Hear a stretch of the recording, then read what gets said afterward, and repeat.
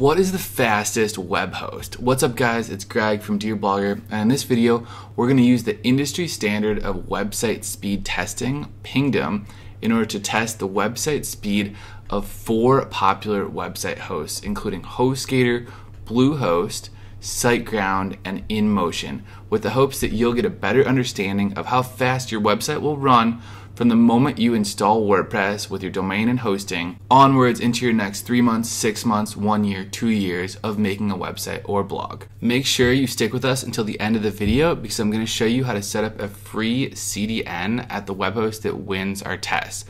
Guys, if you've tried to learn about web hosting and you feel confused and web hosting speed and you feel even more confused, then you're not alone. I too once wondered what all this stuff meant, but it's really not that bad. And hopefully I help you pick the right web host for you because really they're all great in their own ways. So let's jump right in. And first off, I want to say this isn't one of those guides where I'm going to show you 10 dashboards and 20 different stats that jump around, talk about bandwidth and site delays and servers and all sorts of technical details. All I want to do here is give you an understanding of three to four basic website speed terms so that you can walk the walk and talk the talk a little bit after you create a blog or website. So if we ask Google what is website speed, right at the top, they tell us the term speed essentially refers to the length of time at which web pages or media content is downloaded from website hosting servers and displayed onto the requesting browsers.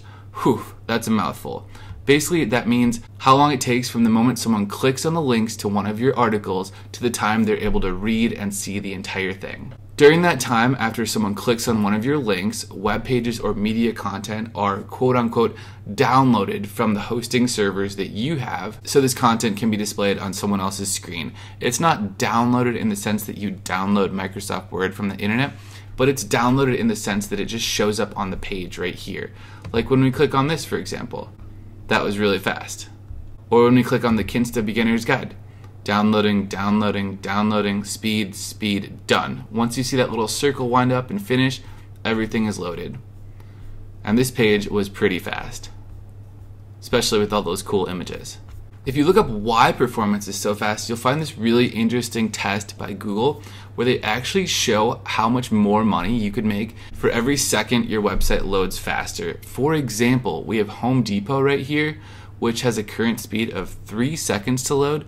If their website could run one second faster, their potential annual revenue impact would be over $700,000 just for making their website load one second quicker to visitors. Google tells us that performance is crucial and if your site's user experience is fast and responsive, it can only serve you well. What they mean by that is basically that people are impatient. If a website takes forever to load and goes into the circle and pinwheel forever, people are going to leave. And really quickly too, they'll leave within a couple seconds. So all that time you've spent creating amazing content because content is king could be wasted if your website loads in more than two to three seconds.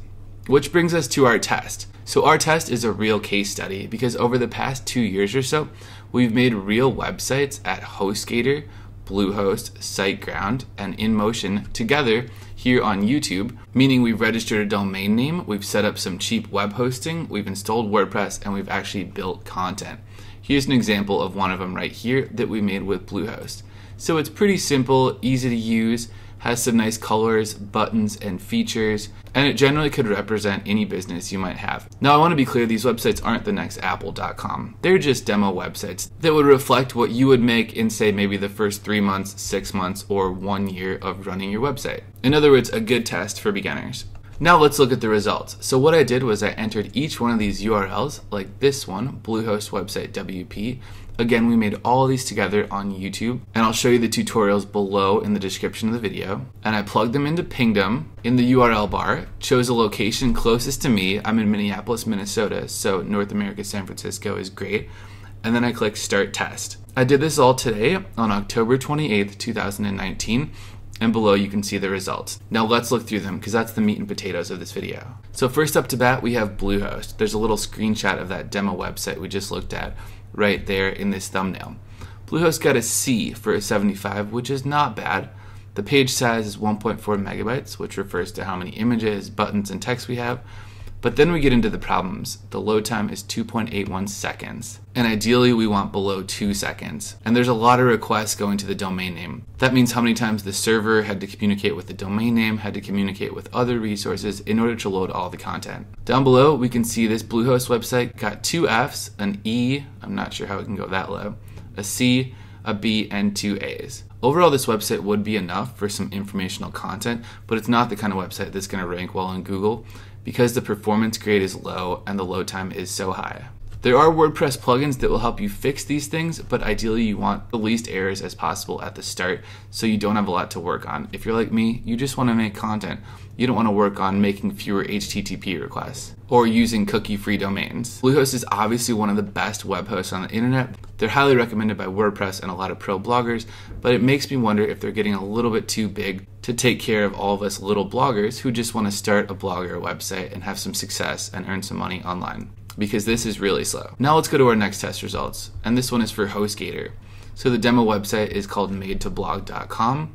Again, we're in North America, San Francisco, and here are our results. Very similar to Bluehost, perhaps because they're run by the same company, Endurance International. The performance is a C. Page size is a little bit higher because this website has more images. That's pretty much my fault right there, so we can ignore that. Load time is high at 2.52 seconds, so we actually went down a little, but still too high, and there were way more requests on the domain name in order to get everything to load. Again, we see two Fs, an E, a D, two Cs, and only one A. Not too ideal. Still a great informational website or a blog. HostGator has some of the best customer service ever on the web, which I've personally tested. And I've actually used them for my personal blogs for years, but this page performance is not that strong. Next in our test results, we have InMotion, also in North America, San Francisco.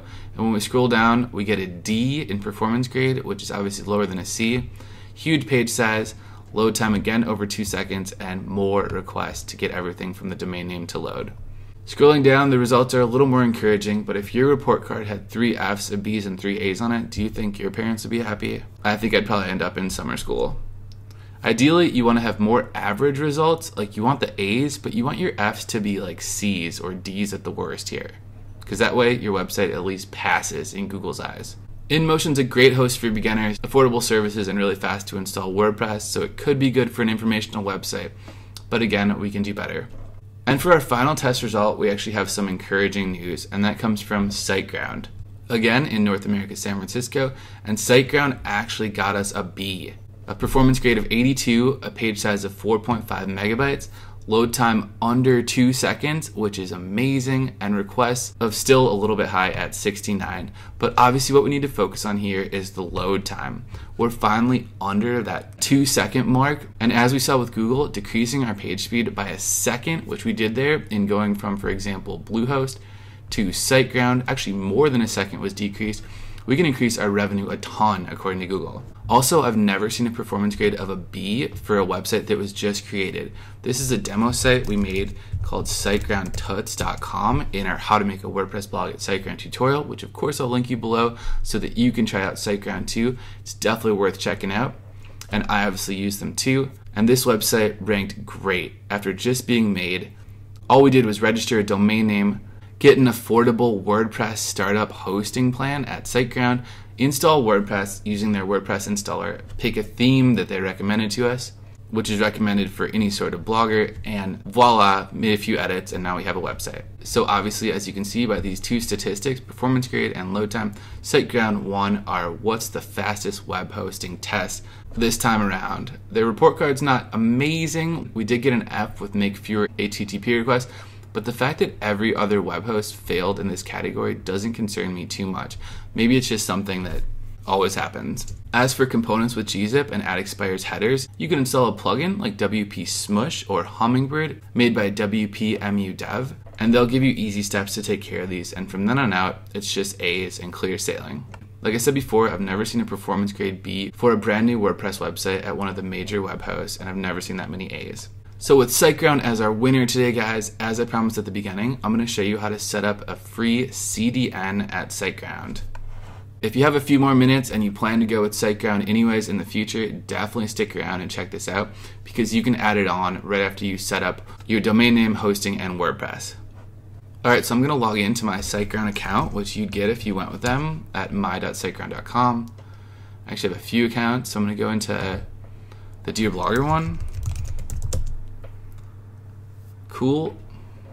And then I'm going to visit their article at siteground.com slash speed, which really showcases all that they do for us in terms of speed technologies. So always the hottest, SSD drives and everything, Nginx, not sure what that means, sounds cool and free CDN available. And this is the link we want to click.